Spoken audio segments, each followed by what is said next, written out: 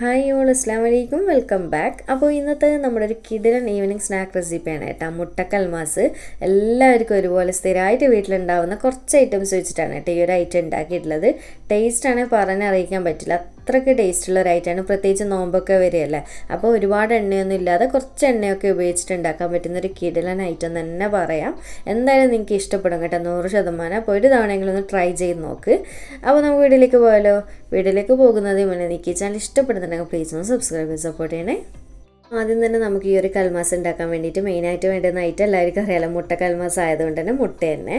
അപ്പോൾ ഞാനിവിടെ നാല് മുട്ടയാണ് കേട്ടോ നല്ലപോലെ പുഴുങ്ങിയെടുത്തതിന് ശേഷം തൊലിയൊക്കെ കളഞ്ഞ് ക്ലീൻ ചെയ്ത് വെച്ചിട്ടുണ്ട്. അപ്പോൾ നിങ്ങൾക്ക് എത്രത്തോളം മുട്ട ആവശ്യമുണ്ടോ അതിനനുസരിച്ച് എടുക്കുക കേട്ടോ. അപ്പോൾ ഞാനിവിടെ എടുക്കുന്ന ഫില്ലിങ്ങിന് കണക്കായിട്ട് നാലെണ്ണം മതിയാകും. അപ്പോൾ ആദ്യം തന്നെ നമുക്കിനി ഇതിലേക്കുള്ള ഫില്ലിങ്ങും കാര്യങ്ങളൊക്കെ ഒന്ന് റെഡിയാക്കി എടുക്കാം. അപ്പോൾ ഇവിടെ ഒരു പാൻ വെച്ച് ചൂടായതിന് ശേഷം ഇതിലേക്കൊരു മൂന്ന് ടേബിൾ സ്പൂണോളം ഓയിൽ ഒഴിച്ചു കൊടുക്കുന്നുണ്ട്. സൺഫ്ലവർ ഓയിലാണ് എടുത്തിട്ടുള്ളത്. ഇപ്പോൾ ഇതാ നല്ലപോലെ ചൂടായിട്ടുണ്ട്.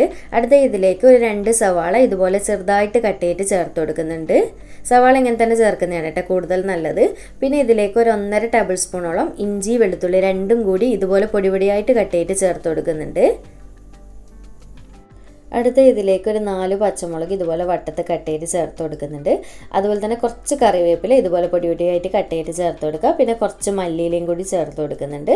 പിന്നെ ആവശ്യത്തിനുള്ള ഉപ്പും കൂടി ചേർത്ത് കൊടുക്കുക. എന്നിട്ട് നന്നായിട്ട് ഇതുപോലെ ഒന്ന് മിക്സ് ചെയ്ത് കൊടുത്തതിന് ശേഷം നല്ലപോലെ വയറ്റിയെടുക്കുക. പിന്നെ സാധാരണ ഫില്ലിങ്ങിനേക്കാളും ഈ ഒരു ഫില്ലിങ്ങിന് ഭയങ്കര ഒരു പ്രത്യേകത എന്താണെന്ന് പറയുന്നത് നമ്മൾ ഓരോന്നോരോന്ന് സെപ്പറേറ്റ് വയറ്റിയെടുക്കേണ്ട ആവശ്യമൊന്നുമില്ല.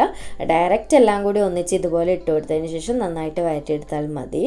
അതുപോലെ തന്നെ ഇത് നമുക്ക് അടച്ച് വെച്ച് വഴറ്റിയെടുക്കണ്ട കേട്ടോ. ഈ ഒരു ഫില്ലിങ് ഇതുപോലെ അടച്ചു വെക്കാതെ ഡയറക്റ്റ് ഫ്ലെയിം കുറച്ച് വെച്ചിട്ട് ഒന്ന് വഴറ്റിയെടുത്താൽ മതി. അപ്പോൾ നല്ലപോലെ സോഫ്റ്റായി കിട്ടുന്നവരെ വഴറ്റിയെടുക്കാം.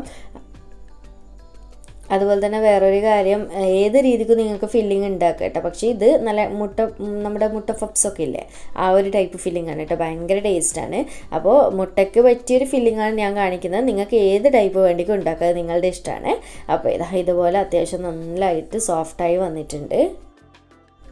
സവാള ഇതുപോലെ ഒന്ന് സോഫ്റ്റായി വന്നതിന് ശേഷം നമുക്കിനി ഇതിലേക്കുള്ള പൊടികൾ ചേർത്ത് കൊടുക്കാം ആദ്യം തന്നെ കാൽ ടീസ്പൂൺ മഞ്ഞൾപ്പൊടി ചേർത്ത് കൊടുത്തിട്ടുണ്ട് പിന്നെ അര ടീസ്പൂൺ മുളക് പൊടി ഞാനിപ്പോൾ എരിവുള്ള തന്നെയാണ് ചേർത്ത് കൊടുത്തിട്ടുള്ളത് പിന്നെ ഒരു അര ടീസ്പൂൺ ഗരം മസാല പൊടിയും അതുപോലെ തന്നെ ഒരു ടീസ്പൂണോളം മല്ലിപ്പൊടിയും ചേർത്ത് കൊടുക്കുന്നുണ്ട് പിന്നെ അര ടീസ്പൂണോളം കുരുമുളക് പൊടിയും കൂടി ചേർത്ത് കൊടുക്കുന്നുണ്ട് ഇത്രയും ചേർത്ത് കൊടുത്തതിന് ശേഷം നന്നായിട്ട് ഇതുപോലെ ഒന്ന് മിക്സ് ചെയ്ത് കൊടുക്കാം.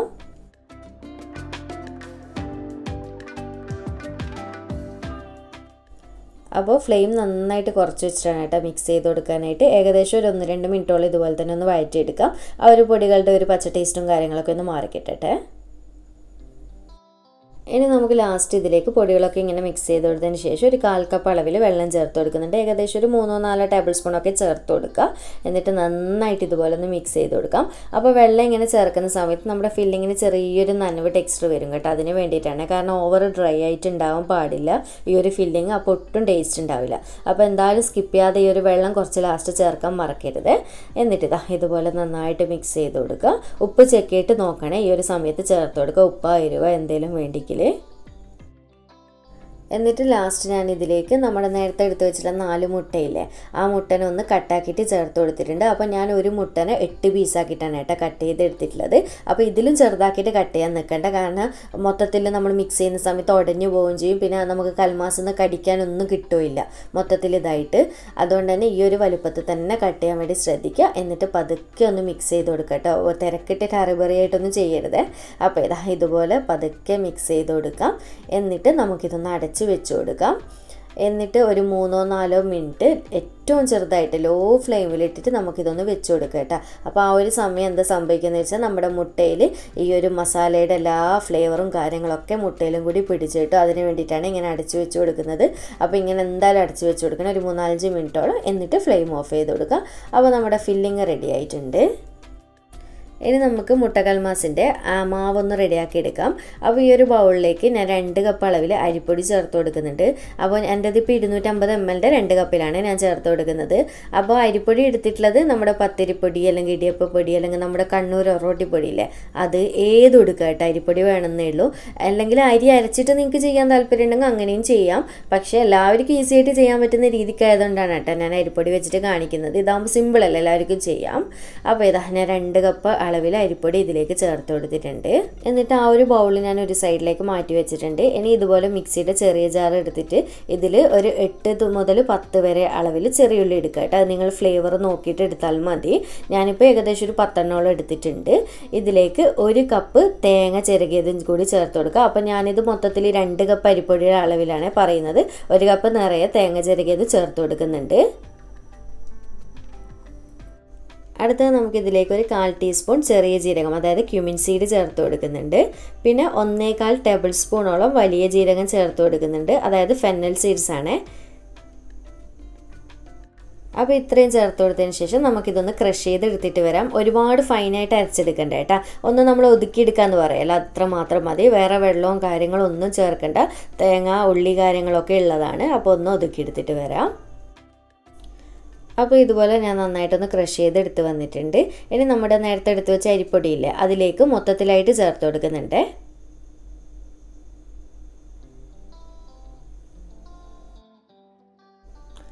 അപ്പോൾ ഇതുപോലെ ചേർത്ത് കൊടുത്തതിന് ശേഷം നമ്മുടെ ഇനി ഈ ഒരു അരിപ്പൊടിയും തേങ്ങയുടെ മിക്സും ഒക്കെ കൂടി നന്നായിട്ട് കൈവച്ചിട്ട് തന്നെ ഒന്ന് കുഴച്ച് കൊടുക്കുക കേട്ടോ.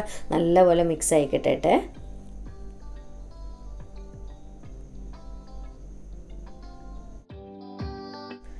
അപ്പോൾ ഇതുപോലെ നന്നായിട്ട് മിക്സ് ചെയ്ത് കൊടുത്തതിന് ശേഷം ആവശ്യത്തിനുള്ള ഉപ്പും കൂടിയും ചേർത്തിട്ട് ജസ്റ്റ് ഒന്നും കൂടി മിക്സ് ചെയ്ത് കൊടുക്കുക. ഇനി നമ്മൾ ഈ ഒരു മാവിനെ കുഴച്ചെടുക്കാൻ പോകുന്നത് നല്ല തിളച്ച വെള്ളം ഒഴിച്ചിട്ടാണ് കേട്ടോ. അപ്പോൾ പച്ചവെള്ളത്ത് കുഴച്ചെടുക്കുന്ന പൊടിയാണെന്നുണ്ടെങ്കിൽ പച്ചവെള്ളത്ത് കുഴച്ചെടുക്കാം.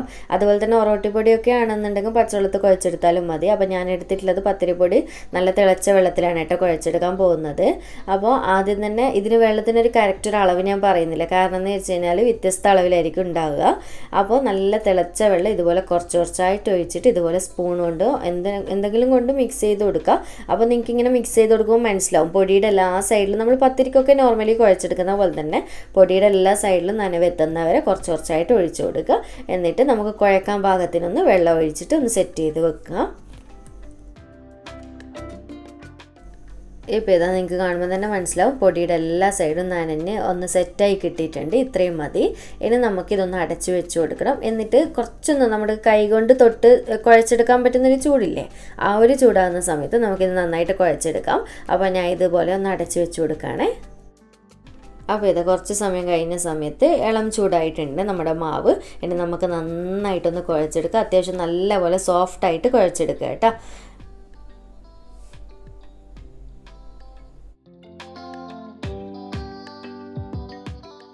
നമ്മുടെ കൽമാസിന്റെ കുഴക്കനുസരിച്ചിട്ട് കൽമാസിന് പെർഫെക്ഷൻ കിട്ടും കേട്ടോ. അതായത് എത്രത്തോളം സോഫ്റ്റ് ആയിട്ട് കുഴച്ചെടുക്കുന്ന അത്രക്കും നല്ല പെർഫെക്റ്റ് ആയിട്ട് നമുക്ക് ഉരുട്ടിയെടുക്കാനൊക്കെ പറ്റും. കയ്യിൽ അഥവാ ഒട്ടി പിടിക്കുന്നുണ്ട് എന്നുണ്ടെങ്കിൽ കുറച്ച് ഓയിൽ ഒഴിച്ചിട്ട് ഒന്ന് ഉരുട്ടിയെടുത്താലും മതി കേട്ടോ. പ്രശ്നമൊന്നുമില്ല. പിന്നെ വേറെ എന്താണ് ഞാൻ നമ്മളിതിപ്പോൾ അരിപ്പൊടി വെച്ചിട്ടാണല്ലോ ചെയ്യുന്നത്. പക്ഷേ ഇതിന്റെ ടേസ്റ്റ് ഞാൻ പറയുന്ന ഇതേ കാര്യങ്ങൾ സെയിം രീതിക്ക് തന്നെ നിങ്ങൾ ഫോളോ ചെയ്ത് കഴിഞ്ഞാൽ നിങ്ങൾക്ക് നമ്മൾ ഗ്രൈൻഡറിലൊക്കെ അരി അരച്ചിട്ട് ചെയ്യുന്ന അതേ ടേസ്റ്റിൽ തന്നെ നമുക്ക് കിട്ടും കേട്ടോ. ഒരു പ്രശ്നവും വരില്ല. അതുകൊണ്ട് ഞാൻ പറഞ്ഞ പോലെ തന്നെ എല്ലാ കാര്യങ്ങളും നിങ്ങൾ ചെയ്യുക അപ്പോൾ ഇതാ ഞാൻ അരിയൊക്കെ നന്നായിട്ട് കുഴച്ചെടുത്തിട്ടുണ്ട്. അപ്പോൾ ഇതാണ് കേട്ടോ ഇതിന്റെ പരുവെന്ന് പറയുന്നത്. നമുക്ക് കയ്യിലെടുത്ത് കഴിഞ്ഞാൽ നന്നായിട്ട് ഉരുട്ടിയിട്ട് ഉന്ന കൈയൊക്കെ പരത്തിയെടുക്കുന്ന പോലെ പറ്റണം. അതിന് ആ ഒരു പരുവത്തിൽ എടുക്കണേ നിങ്ങൾ നല്ലപോലെ സോഫ്റ്റ് ആക്കിയിട്ട് തന്നെ ഈ ഒരു രീതിക്ക് തന്നെ എടുക്കുക. അപ്പോൾ ഇനി നമുക്ക് കൽമാസ് എങ്ങനെ ഷേപ്പ് ചെയ്തെടുക്കുന്നതെന്ന് നോക്കാം. അപ്പോൾ ഇതുപോലെ കുറച്ച് കയ്യിൽ ഓയിൽ തടവിയതിന് ശേഷം നമ്മൾ കുഴച്ച് വെച്ചിട്ടുള്ള മാവെന്ന് എത്രത്തോളം വലുപ്പമുള്ള കലമാസം നിങ്ങൾക്ക് ആവശ്യമുണ്ടോ അതിനനുസരിച്ച് ഓരോ ഉരുളിയാക്കിയിട്ട് ഉരുട്ടിയിട്ട് ഇതുപോലെ കയ്യിൽ വെച്ചിട്ട് നന്നായിട്ട് പരത്തിയെടുക്കുക. നമുക്ക് ഈ ഒരു കൽമാസം ഉന്നക്കായുടെ ഷേപ്പിലാണ് കേട്ടോ ചെയ്തെടുക്കേണ്ടത്. അപ്പോൾ ഇതുപോലെ ഇതാ ഈ ഒരു വലുപ്പത്ത് പരത്തിയെടുത്തിട്ടുണ്ട്. എന്നിട്ട് നമുക്ക് മുട്ടയോട് കൂടി തന്നെ ഫില്ലിങ് എത്രത്തോളം നിങ്ങൾക്ക് വേണം അതിനനുസരിച്ച് വെച്ച് കൊടുക്കുക കേട്ടോ. അപ്പോൾ ഓരോ കൽമാസിലും മുട്ട കണിയാൻ വേണ്ടിയിട്ട് പ്രത്യേകം ശ്രദ്ധിക്കുക. എങ്കിലേ കടിക്കുമ്പോൾ ടേസ്റ്റ് ഉണ്ടാവുള്ളൂ. എന്നിട്ട് നിങ്ങൾ ഈ വീഡിയോയിൽ കാണുന്ന പോലെ തന്നെ ഞാൻ ചെയ്ത് കൊടുക്കുന്ന പോലെ തന്നെ ചെയ്യുക രണ്ട് സൈഡും പിടിച്ചിട്ട് ആദ്യം നന്നായിട്ടൊന്ന് ഒട്ടിച്ചു കൊടുക്കുക. എന്നിട്ടൊന്ന് നല്ലപോലെ ഷേപ്പ് ചെയ്ത് കൊടുക്കുക. ഒട്ടും തന്നെ വിള്ളലില്ലാതെ നമ്മുടെ ഫില്ലിങ് പുറമേ ആവാത്ത രീതിക്ക് തന്നെ ഒട്ടിച്ചു കൊടുക്കണേ. അപ്പോൾ കൈ ഉള്ളിൽ ഒട്ടിപ്പിടിക്കുന്നുണ്ട് എന്നുണ്ടെങ്കിൽ ഓയിൽ ഇടയ്ക്കിടെ ഒന്ന് തടവി കൊടുക്കുക.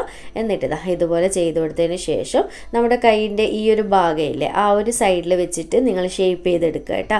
അപ്പോൾ നമുക്ക് ഈസി ആയിട്ട് നല്ല രീതിക്ക് തന്നെ ഷേപ്പ് ചെയ്തെടുക്കാൻ പറ്റും. അപ്പോൾ അത് അറിയാത്തവർക്ക് വേണ്ടിയിട്ട് പറഞ്ഞുതരാണ് കേട്ടോ. ഈസി ആയിട്ടുള്ള ഒരു ടിപ്പാണ് നമ്മുടെ ഉന്നക്കായൊക്കെ പെർഫെക്റ്റ് ആയിട്ട് ചെയ്തെടുക്കാൻ പറ്റുന്ന ഒരു ഈസി മെത്തേഡാണ് കേട്ടോ. ഈ ഒരു കൈയിന്റെ ഈ ഒരു ഭാഗം വെച്ചിട്ട് നല്ലപോലെ ഷേപ്പ് ചെയ്ത് തന്നെ രണ്ടറ്റത്തും ഇതുപോലെ നല്ല ഭംഗിയിൽ നല്ല മുഞ്ചി തന്നെ കിട്ടും. അപ്പോൾ ഇത്രയേ ഉള്ളൂ. നമ്മുടെ കൽമാസ് റെഡി ആയിട്ടുണ്ട്. സിമ്പിളല്ലേ അപ്പോൾ നിങ്ങൾക്ക് വലുപ്പം കൂട്ടം കുറക്കൊക്കെ ചെയ്യാം കേട്ടോ. എന്നിട്ട് ഇതാ ബാക്കിയുള്ളത് മൊത്തത്തിൽ ഇതുപോലെ തന്നെ ചെയ്തെടുക്കാം. അപ്പോൾ ഈ ഒരു മുട്ട കൽമാസിന് മുന്നേ ഞാൻ കഴിഞ്ഞ നോമ്പിന്റെ ഏതാണ്ട് ആ ഒരു ടൈമിലാന്ന് തോന്നുന്നു. ചിക്കൻ വെച്ചിട്ടുള്ള കൽമാസും ചെയ്തിട്ടുണ്ട് കേട്ടോ. അത് നല്ലൊരു വ്യൂ ഉണ്ടായിരുന്നു. ആ സമയത്ത് യൂട്യൂബിൽ തന്നെ വൈറലായിട്ടുള്ളൊരു വീഡിയോ ആയിരുന്നു എന്റെ വീഡിയോ. ഏതാണ്ട് വൺ മില്യന്റെ മേലെയൊക്കെ വീഡിയോ വ്യൂ ഉള്ളൊരു വീഡിയോ ആണ് കേട്ടോ. അപ്പോൾ അതിന്റെ ലിങ്ക് ഞാൻ എന്തായാലും ഡിസ്ക്രിപ്ഷനിലൊക്കെ കൊടുക്കാം. നിങ്ങൾക്ക് ആവശ്യമുള്ളവർക്ക് ചിക്കൻ കൽമാസ് ഉണ്ടാക്കി നോക്കാം. അപ്പോൾ ഒരുപാട് പേര് അത്രക്കും നല്ല നല്ല കമൻസ് ഇട്ടിട്ടുണ്ട് കേട്ടോ. ട്രൈ ചെയ്തിട്ട് പെർഫെക്റ്റ് ആയിട്ടുണ്ട് എന്നുള്ള. അപ്പോൾ ആ ഒരു സമയത്ത് ഒരുപാട് പേര് മുട്ടക്കൽമാസിന്റെ വീഡിയോ ചെയ്യാൻ വേണ്ടി പറഞ്ഞിട്ടുണ്ടായിരുന്നു. നല്ല ഫില്ലിംഗ് ഒക്കെ വെച്ചിട്ട്. അതുകൊണ്ടാണ് നോമ്പായില്ല. അപ്പോൾ എല്ലാവർക്കും യൂസ്ഫുൾ ആവുമെന്ന് കരുതിയിട്ടാണ് ഈ ഒരു സമയത്ത് തന്നെ ഞാൻ ഈ ഒരു വീഡിയോ ഇടുന്നത്. അപ്പോൾ എന്തായാലും ഒന്ന് ട്രൈ ചെയ്ത് നോക്കണേ. അപ്പോൾ ഇതാ ബാക്കിയുള്ളത് മൊത്തത്തിൽ ഈ ഒരു രീതിക്ക് തന്നെ ഞാൻ ഫോൾഡ് ചെയ്ത് എടുക്കുന്നുണ്ട്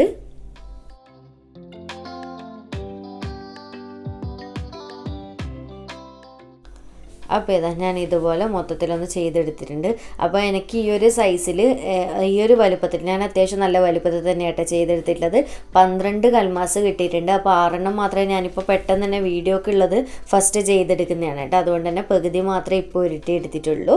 അപ്പോൾ ഇവിടെ ഞാൻ ആ ഒരു സമയം കൊണ്ട് സ്റ്റീമറിൽ വെള്ളം തിളക്കാൻ വേണ്ടി വെച്ചിട്ടുണ്ടായിരുന്നു. നല്ലപോലെ തിളച്ചതിന് ശേഷം ഇതുപോലെ സ്റ്റീമറിന്റെ തട്ടിലായിട്ട് കൽമാസ് ഗ്യാപ്പ് ഇട്ടിട്ട് വെച്ച് കൊടുക്കട്ടെ അടുപ്പിച്ചിട്ട് വെക്കണ്ട. ഒട്ടിപ്പിടിക്കേണ്ട പരസ്പരം. അപ്പോൾ സ്റ്റീമറിന്റെ തട്ടിൽ നന്നായിട്ട് ഞാൻ ഓയിൽ തടവി കൊടുത്തിട്ടുണ്ട്. എന്നിട്ട് ഇതുപോലെ വേവിക്കാൻ വേണ്ടി വെക്കുക. എന്നിട്ട് ഒരു ഇരുപത് മിനിറ്റ് പതിനഞ്ച് ടു ഇരുപത് മിനിറ്റ് എന്തായാലും വേവാൻ വേണ്ടിയിട്ട് ടൈം വേണം. അപ്പോൾ അതുവരെ നമുക്ക് വെയിറ്റ് ചെയ്യാം. അങ്ങനെ കറക്റ്റ് ഇരുപത് മിനിറ്റ് ആയ സമയത്താണ് കേട്ടോ എന്റെ കൽമാസ് വെന്ത് വന്നിട്ടുള്ളത്. ഒരു പതിനഞ്ച് മിനിറ്റ് ഒക്കെ ആകുന്ന സമയത്ത് നിങ്ങളൊന്ന് അടപ്പ് തുറന്ന് ചെക്ക് ചെയ്യണേ. കാരണം എന്താണെന്ന് വെച്ചാൽ ഓരോരുത്തരുടെ ഫ്ലെയിമിന്റെ വ്യത്യാസത്തിനനുസരിച്ച് വേവിലും വ്യത്യാസം വരും. അപ്പോൾ ഇതാ അതിന് നമുക്കിത് നല്ലപോലെ ചൂടാറുന്ന നേരം വെയിറ്റ് ചെയ്യാം. അപ്പോൾ ആ ഒരു സമയം കൊണ്ട് നമുക്ക് ഇതിലേക്കുള്ള ചെറിയൊരു മസാല ഒന്ന് റെഡിയാക്കി എടുക്കാം. നമുക്ക് കൽമാസ് ഒന്ന് ഫ്രൈ ചെയ്യാൻ വേണ്ടിയിട്ടുള്ള. അപ്പോൾ ഈ ഒരു ബൗളിലേക്ക് ആദ്യം തന്നെ ഒരു കാൽ ടീസ്പൂൺ മഞ്ഞൾപ്പൊടിയും പിന്നെ ഒരു രണ്ട് ടേബിൾ സ്പൂൺ കശ്മീരി ചില്ലി പൗഡറാണ് ചേർത്ത് കൊടുത്തിട്ടുള്ളത്. പിന്നെ പാകത്തിനുള്ള ഉപ്പും അതുപോലെ തന്നെ ഒരു ടേബിൾ സ്പൂണോളം ഒരു മൂന്നാലഞ്ച് അല്ലി വെളുത്തുള്ളി ഒന്ന് ഓവർ ചതച്ചെടുത്തതല്ല ഒന്ന് ജസ്റ്റ് ഒന്ന് കുത്തിയെടുത്തിട്ട് ചേർത്ത് കൊടുക്കുക. അപ്പോൾ വെളുത്തുള്ളി സ്കിപ്പ് ചെയ്യാതെ തന്നെ ചേർക്കുക കേട്ടോ. നല്ല ടേസ്റ്റാണ് ഇങ്ങനെ ചേർത്ത് കൊടുക്കുന്ന സമയത്ത്. അതിനുശേഷം കുറച്ച് കുറച്ചായിട്ട് വെള്ളം ഒഴിച്ചിട്ട് നന്നായിട്ട് മിക്സ് ചെയ്ത് കൊടുക്കാം. അപ്പോൾ ഓവർ ടൈറ്റ് ആയിട്ടുള്ള ബാറ്റർ അല്ല കുറച്ച് ലൂസായിട്ട് തന്നെ ബാറ്റർ റെഡിയാക്കി എടുക്കാം. നമ്മൾ ഇതിൽ മിക്സ് ആക്കിയിട്ട് ഇതിൽ മുക്കിയെടുത്തിട്ടാണ് കേട്ടോ കൽമാസ് ഫ്രൈ ആക്കാൻ പോകുന്നത്. അതുകൊണ്ട് ഓവർ ടൈറ്റ് ആക്കിയിട്ട് ചെയ്യേണ്ട. അപ്പോൾ ഇതാ ഇതുപോലെ നന്നായിട്ട് മിക്സ് ചെയ്ത് കൊടുക്കുന്നുണ്ട്. ഉപ്പ് ചെക്ക് ചെയ്തിട്ട് ആവശ്യത്തിനനുസരിച്ച് ചേർത്ത് കൊടുക്കണേ.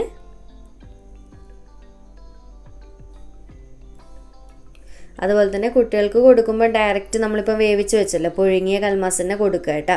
ഇതുപോലെ മുളകിൽ ഫ്രൈ ചെയ്ത് കൊടുക്കണം എന്നില്ല. കാരണം എരിവ് പിടിച്ചിട്ടില്ലെങ്കിൽ അങ്ങനെ കഴിക്കാനും നല്ല ടേസ്റ്റ് തന്നെയാണ്. പക്ഷെ പൊതുവേ കൽമാസിന്റെ ആ ഒരു ടേസ്റ്റും ആ ഒരു എന്താ പറയുക ഒറിജിനൽ കൽമാസ് എന്ന് പറയുന്നത് തന്നെ ഇങ്ങനെ മുളക് തേച്ച് ഫ്രൈ ചെയ്തിട്ടുള്ളതാണ് കേട്ടോ. നമ്മുടെ കണ്ണൂരൊക്കെ ഇത് ഫേമസ് ആയിട്ടുള്ള ഒരു സ്നാക്കാണല്ലോ അപ്പോൾ ഈ ഒരു ഐറ്റം ഇങ്ങനെ മുളക് തേച്ചിട്ടാണ് പൊതുവേ ഷോപ്പിലൊക്കെ ഉണ്ടാവാറുള്ളത്. അപ്പോൾ നമുക്കിനി ഇത് ഫ്രൈ ചെയ്യാൻ വേണ്ടി തുടങ്ങാം.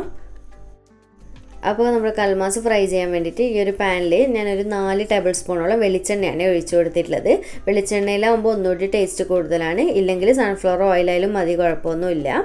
അപ്പോൾ ഒരു കാര്യം ഒന്ന് പ്രത്യേകം ശ്രദ്ധിക്കുക. കൽമാസ് നമ്മൾ പഴംപൊരിയൊക്കെ പൊരിച്ചെടുക്കുന്ന പോലെ ഒരുപാട് എണ്ണയിൽ അങ്ങനെ മുക്കിയെടുത്തിട്ട് പൊരിച്ചെടുക്കുമല്ലോ. ആ ഒരു രീതിക്ക് ഒരിക്കലും ചെയ്യാൻ പാടില്ല. കൽമാസിന്റെ ടേസ്റ്റ് ആകെപ്പാടെ മാറിപ്പോവും. എപ്പോഴും നമ്മൾ കുറച്ച് എണ്ണ ഒഴിച്ചിട്ട് ജസ്റ്റ് ഒന്ന് ഷാലോ ഫ്രൈ മാത്രം ചെയ്തെടുക്കുക. നമ്മുടെ ആ ഒരു മുളകിന്റെ ആ ഒരു പച്ച ടേസ്റ്റ് ഒന്ന് മാറിക്കിട്ടുക. അത്ര മാത്രമേ വേണ്ടുള്ളൂ ബാക്കിയൊന്നും വേണ്ട. കാരണം വേവാനൊന്നും ഇല്ലല്ലോ. എല്ലാം സെറ്റ് ആയതല്ല? അത്രയേ ഉള്ളൂ. എങ്കിലും മാത്രമേ ആ ഒരു കൽമാസിന്റെ ഒറിജിനൽ ടേസ്റ്റ് നമുക്ക് കിട്ടുള്ളൂ. അപ്പോൾ മുകളിലായിട്ട് ഇതുപോലെ കുറച്ച് കറിവേപ്പിലയും കൂടി ഇട്ട് കൊടുത്തതിന് നല്ല ഫ്ലേവർ ഉണ്ടാവും. എന്നിട്ട് ഇതുപോലെ തിരിച്ചും മറിച്ചും ഒക്കെ ഇട്ട് കൊടുക്കുക. പെട്ടെന്ന് തന്നെ ഫ്രൈ ആക്കി എടുക്കുക. അത്രയേ ഉള്ളൂ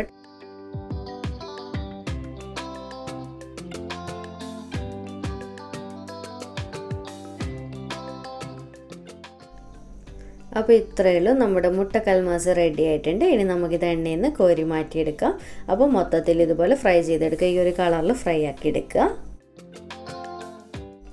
അപ്പോൾ ഞാൻ ഇത് സെർവ് ചെയ്ത് കൊടുക്കുന്നുണ്ട്. സിമ്പിളായിട്ടുള്ള ഐറ്റമാണ് പ്രത്യേകിച്ച് അരിപ്പൊടി കൊണ്ട് ചെയ്യുന്നത് കൊണ്ട് തന്നെ. അപ്പോൾ ഇത് ഈവനിങ് സ്നാക്ക് ആണെങ്കിൽ കൂടി നമുക്ക് രാവിലത്തെ ബ്രേക്ക്ഫാസ്റ്റ് ആണെങ്കിലോ അല്ലെങ്കിൽ ഡിന്നറൊക്കെ ആയിട്ട് തയ്യാറാക്കാൻ പറ്റുന്ന ഐറ്റമാണ് കേട്ടോ. നമ്മൾ ഡിന്നറിൽ തന്നെയാണ് തയ്യാറാക്കൽ. നല്ല ടേസ്റ്റ് ആയിട്ടുള്ള ഐറ്റമാണ് അപ്പോൾ എന്തായാലും ഒരു തവണയെങ്കിലും ഈ ഒരു നോമ്പിനോ എപ്പോഴെങ്കിലും സമയം കിട്ടുമ്പോൾ ഒന്ന് ട്രൈ ചെയ്തിട്ട് ഫീഡ്ബാക്ക് അറിയിക്കുക കേട്ടോ. വീഡിയോ ഇഷ്ടമായിട്ടുണ്ട് എന്നുണ്ടെങ്കിൽ ലൈക്ക് ചെയ്യാനും ചാനൽ സബ്സ്ക്രൈബ് ചെയ്യാനും മാക്സിമം ഒന്ന് ഷെയർ ചെയ്ത് കൊടുക്കാനും മറക്കരുത്. വീണ്ടും ഒരു അടിപൊളി വീഡിയോ ആയിട്ട് കാണാം. താങ്ക്